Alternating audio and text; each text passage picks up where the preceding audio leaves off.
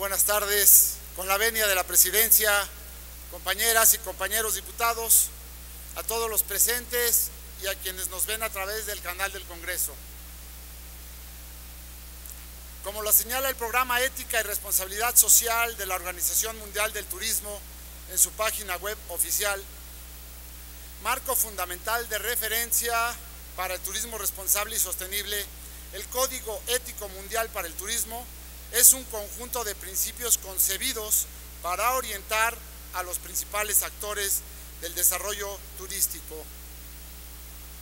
Dirigido a gobiernos, empresas turísticas, comunidades y turistas por igual.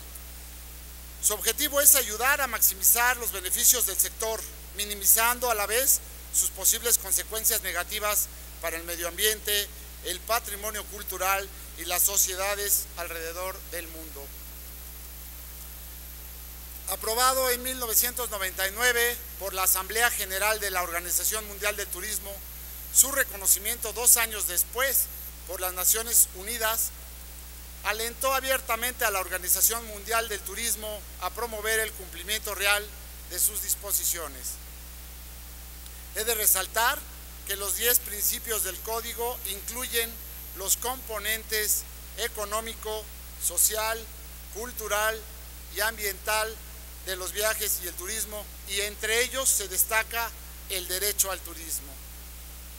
En ese orden de ideas, como acertadamente lo señala el doctor Miguel Carbonell en uno de sus estudios, la reforma constitucional en materia de derechos humanos de 2011 tiene como uno de sus ejes estructurales la apertura del sistema jurídico mexicano al ordenamiento internacional, con todo lo que ello supone recepción de los tratados e incorporación de los mismos al derecho interno con rango constitucional.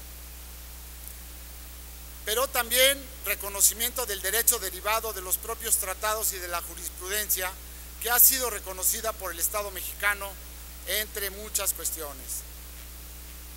Asimismo, en su opinión, explica que se dio a conocer una sentencia de la Suprema Corte de Justicia de la Nación que va a cambiar la forma de que lo entiende e interpreta el derecho mexicano, resuelta por el Pleno de la Corte en diciembre del año 2013.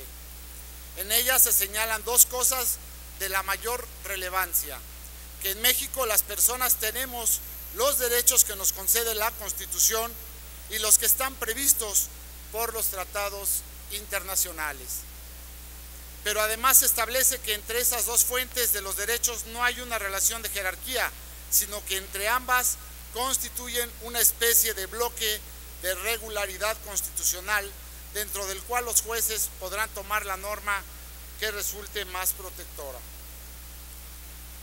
Compañeras y compañeros, muchos hemos legislado en materia de turismo y mucho se ha legislado. Sin embargo, en ningún ordenamiento jurídico se ha reconocido explícitamente el derecho al turismo.